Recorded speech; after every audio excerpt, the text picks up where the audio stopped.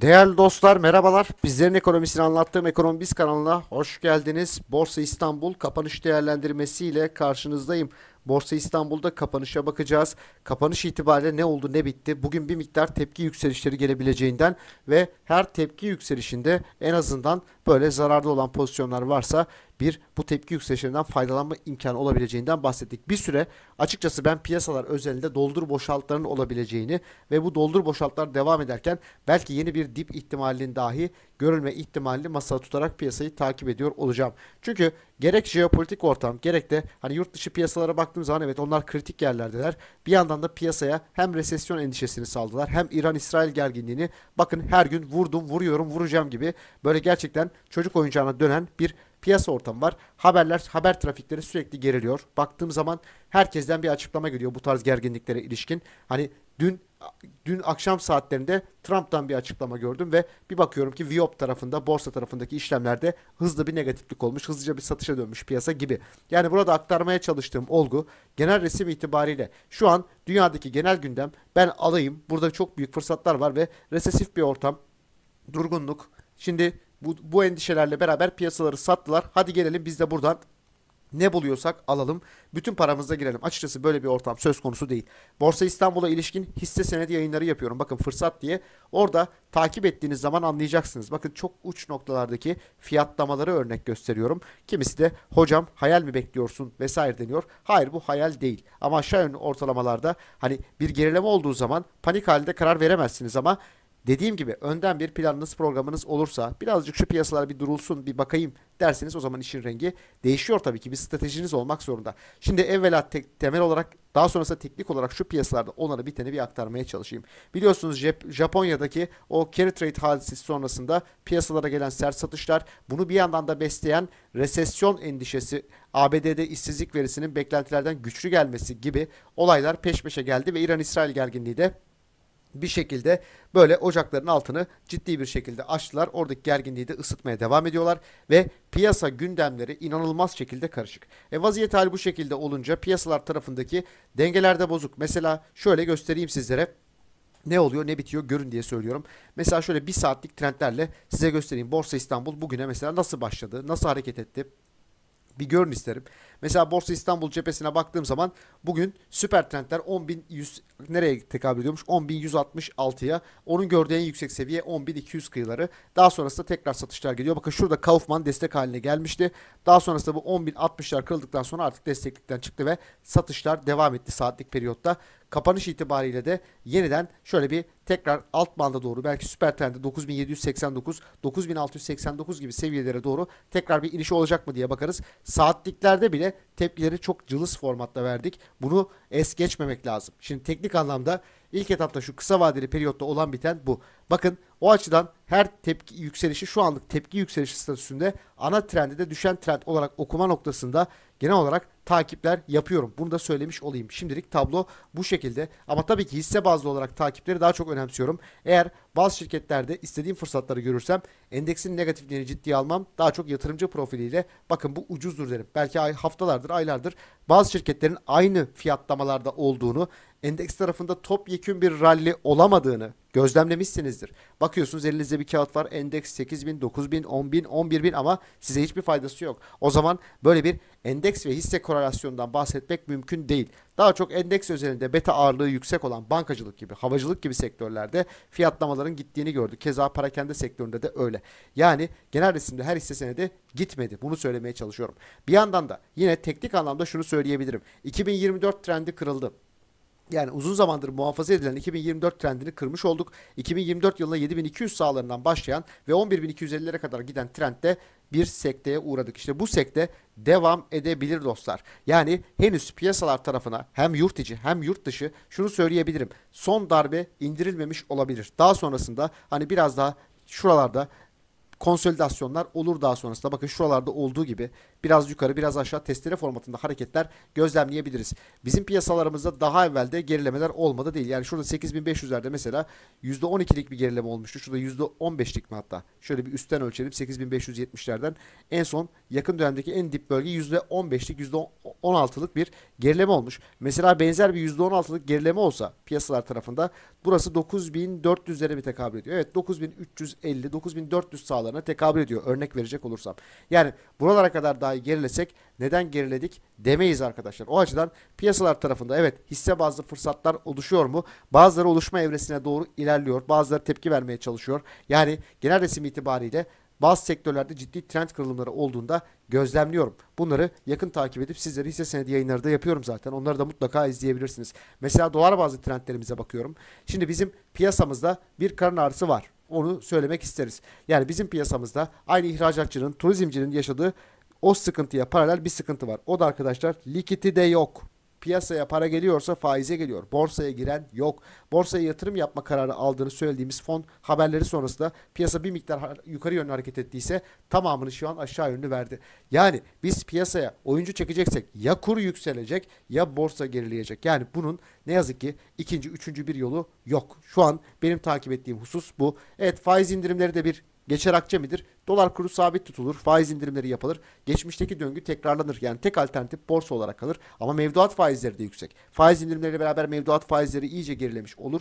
Gibi gibi etmenler oluşuyorsa hani borsanın tek etmen olduğu bir tablo oluşturulursa elbette bir şeyler olur. Ama şimdilik genel resim itibariyle benim takip ettiğim borsa daha çok şu an 287 dolarları işaret ediyor. Buraların aşağısına doğru gerilemeler oluyorsa bakın şuralarda 268 dolarlar dahi potaya teknik anlamda girebilir şeklinde okunabilir. Bir yandan da şöyle 2022 ayından 2022 yılından başlayan şöyle bir trend sahası var benim takip ettiğim. Bu trend sahası 280-280 dolarlardan geçiyor. Buralar kırılıyorsa problem olur. Bakalım piyasaları toparlayabilecek bir etken, bir emare oluşacak mı? Bunları yakından takip ediyorum. Şimdilik piyasalar tarafındaki açıkçası hani yatırımcı profilinin nasıl dikkat etmesi gerektiği hususunda şunu söyleyebilirim. Hani bakın bazı şirketler çok ucuzladı. Buyurun saldırın tabi paranızın tamamıyla alın. Bunun bu şekilde olduğunu düşünmüyorum. Daha çok hisse bazlı olarak takipler yapılabilir. Hisse bazlı ucuzlamalar belirli noktalarda görülüyorsa mesela onları değerlendiririm. Basit bir örnek vereyim. Türk Hava Yolları bilançosu geldi. Bilançoyu beğendim bu arada. Herhangi bir problem yok. Neredeyse defter değerinin yarısına gelecek biraz daha düşse ve Türk Hava Yolları tarafına şöyle bir baktığım zaman mesela bir günlük periyotta bakayım. Şöyle bir Bugün güzel yukarı yönlü bir atak yaptı. Sonrasında kapanış itibariyle 279,5 lirayla kapattı. Şurada benim takip ettiğim bant itibariyle de yine bu 279 seviyeleri 279,5 seviyeleri destek. Yani buralardan tepki alamıyorsa tekrar bu 268 liralar hatta biraz daha aşağısına doğru gelebilir. Yani benim şu an piyasalarda izlediğim, okuduğum yükselişlerin tepki statüsünde kaldığıdır. Bunu gözlemlemek lazım. Hani yatırım konusunda çok aceleci davranmaya da lüzum görmüyorum. Hisse bazlı olarak tabii ki hani belki 2-3 parçaya, 4 parçaya böldüğünüz bir yatırım profilinizde olabilir. Mesela endeksin risk skalasına, risk haritasına baktığım zaman iki kanal dikkatimi çekiyor. Bunlardan bir tanesi 9400 10000 kanalı, diğeri de 8500 9400 kanal. Yani bu tarz kan kanallar sizlerin beklentisi dışında ani gelişebilecek sert reaksiyonlarda sizlerin kullanabileceği kanallar olabilir. O yüzden hiçbir seviyeden bütün mal varlığınızla beraber giriş yapmayın. Bir. İkincisi endekse ilişkin olarak bir şekilde doğru politikalara doğru adım atmaya çalıştığımız bir tablo var. CDS'lerimiz öyle eskisi gibi 900'de değil. Kredi derecelendirme kuruluşları adım adım basamak basamak kredi notlarını arttırmaya çalışıyor. Faizlerimiz hala tepede. Henüz negatif bir raporla da karşılaşmadık ama jeopolitik hadiselerle beraber küresel borsalara son bir vuruş yapılırsa mutlaka buna katkı verebilecek kadar bir portföy de portföyünüzde yedek akçe olmalı veyahut da nakit ya da nakde döndürülebilir varlık bulunmasını sağlıklı bulurum açıkçası. Bakın tepe fiyatlarla da uyarı yaptım. 2024 trendlerinin kırılması hoş değil. Bunlar da öyle alelade sebeplerle kırılmadı. O nedenle tabii ki ara tepkiler olacak. Mesela biz pozitiflikler ışığında önümüzdeki süreç itibariyle bu güçlü trendi kırıp da şimdi biraz daha zayıfladığımız bir tabloya doğru gelsek bile belki önümüzdeki süreç itibariyle gelişebilecek pek çok etmenle beraber tekrar aşağılardan destek bulup bu yukarılara doğru gitme eğilimine içerisine doğru geleceğiz. Yani aşağılardan taze alıcı toplamaya çalışacağız. Burada şu süreçte kurun önemli olduğunu unutmayın. Borsanın önemli karın ağrısı dolar kurudur. Dolar kuru nasıl ihracatçıyı inletiyorsa, nasıl turizmcileri inletiyorsa borsa İstanbul'da inletiyor. Yani bizim borsamıza para girmiyor, girmiyor diye bakıyoruz ama hani yabancı 345 dolarlardan, 300 dolarlardan girecek değildir diye düşünüyorum. O açıdan ya dolar kurunun makası biraz daha açılıp borsanın düşüşleri biraz daha dengeli tutulup bir denge sağlanarak döviz bazlı bir ucuzlama yaratılıp öyle piyasaya adam sokulacak veyahut da dediğim gibi hani borsa düşürülecek ve talep bu şekilde gelecek. Bunları takip ediyorum. Küresel borsalarda çok hayır alamet işler yapmıyorlar. En azından oralarda da Dow Jones şimdilik kritik alanlarını koruyor. Hisse bazlı olarak tabii ki inceleme yayınları yapacağım. Mesela şu Dow Jones'a baktığım zaman Dow Jones benim için 38.400 kritikti. Nereye kadar gelmiş? 30 38.487'ye kadar. Tepkisini doğru bir yerden vermiş. Mesela Dow Jones'un 37.760 38.400 aşağısına doğru geldiği bir tablo aslında küresel borsa için daha stresli, daha ciddi bir tablo demektir. Buraları yakın takip edeceğiz. Bizi biraz daha yatıştırabilecek ama açıkçası bir, bir tık da negatif hissettiren şu var mesela. Şöyle bakıyorum. Hani S&P 500'de %1.35'lik tepki var. Burayı gözlemliyoruz. 5255 sağlarına kadar geldi. Bakın bu grafikleri size bir de haftalık olarak göstereyim. Haftalıkta buralar nerelere tekabül ediyor onları görün. Mesela haftalık trendin aşağısına sarktıktan sonra tekrar geri alma eğiliminin içerisine girdiler. Mesela şurada 5200'leri haftalık olarak S&P 500'ün koruması değerli. O zaman 5450'lere kadar tepki gelir diye bakabilirim. Mesela Dow Jones'u gösterdim. Bir Nasdaq göstereyim sizlere. Nasdaq tarafında da benim için 17.300-17.700 bandı değerliydi. 18.214'te %1.78'lik tepki hareketi verdi. Mesela günlük formatta göstereyim sizlere.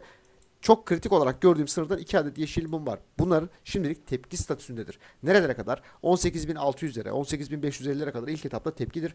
Bakın haftalık ortalamalarını göstereyim. Haftalıkları kırdırdılar, ana trendlere kadar getirdiler. Şimdi haftalıklara kadar gidip oradan tekrar satış yememe ihtimali var mı? Mümkündür. 18.500, 18.600 sağlarına kadar ama hareket doğaldır. Şu an borsalar için stresli ortam devam ediyor. Korku endeksinin gerilemesi nispeten pozitiftir. Mesela Japon borsasına da bakayım. Orası biraz daha adam oluyor mu? Oraya da bir bakalım. Hani Japonya ile başlayan sert bir süreç oldu. Mesela Japon borsasına baktığım zaman haftalık kanallar itibariyle o en düş dip gördüğü yerden %10'luk bir yukarı yönlü hamle yapabilmiş.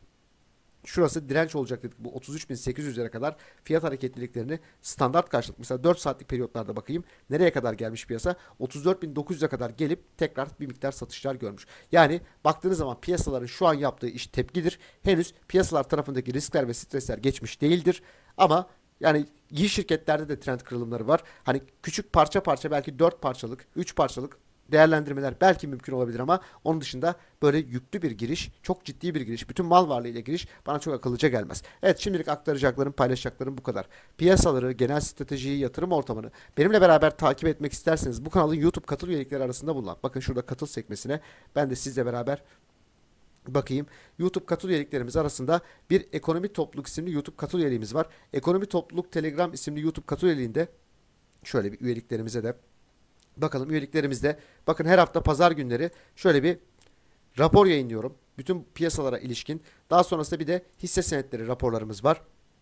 Hisse senetleri raporlarımıza şöyle bir göz atalım. Ülkeler, kolalar, Fordlar, sigorta şirketleri, parakende, sanayi şirketleri her pazar bu raporu yayınlıyorum. Aynı zamanda bir yandan da genel olarak piyasalar bazında olanı biteni aktarmaya çalıştığım sizlerin değerlendirmeleri var. Mesela bakın şurada bir katıl üyelik sekmemiz var. Bağlantılarıma da ekledim bunları. Katıl üyelik sekmesinde de bizim kanalımız içerisindeki şurada Evet hemen katılı da göstereyim sizlere. Ekonomi Topluluk isimli YouTube katıl üyeliği. Burada piyasalara ilişkin değerlendirmeler yapıyorum. İletişim kanalımız var. Sohbet halinde olabiliyoruz. Olanı biteni sabahtan, öğleden sonra küçük desteklerle sizlerle sohbet halinde sizlere aktarmaya çalışıyorum. Sizleri de burada görmekten mutluluk duyarım. Sağlıcakla.